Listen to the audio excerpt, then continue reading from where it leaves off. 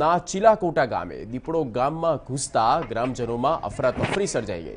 જોકે લોકોથી ગભરાયેલો દીપડો ઘરમાં ઘૂસીતી વેળાએ બારીમાં ફસાઈ ચૂક્યો હતો. જોકે આ ઘટનાની જાણ થતાં જ લીમખેડા વન વિભાગની ટીમોએ દીપડાનું રેસ્ક્યુ ઓપરેશન કર્યું હતું અને ભારે જહેમત બાદ બારીમાં ફસાયેલા દીપડાને ત્યાંથી બચાવી લેવામાં આવ્યો હતો.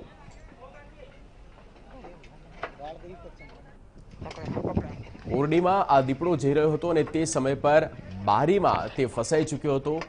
રહીશો દ્વારા, સ્થાનિકો દ્વારા વન વિભાગને જાણ કરવામાં આવી અને તાત્કાલિકપણે તેના રેસ્ક્યુને લઈને કામગીરી પણ શરૂ કરવામાં આવી. આખરે સફળતા મળી ચૂકી છે.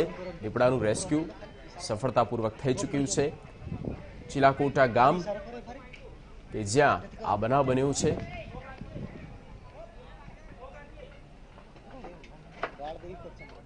પકડો